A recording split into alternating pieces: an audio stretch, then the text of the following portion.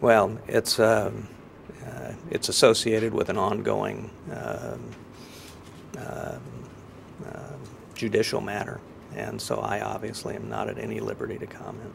Did they upset you? Yes.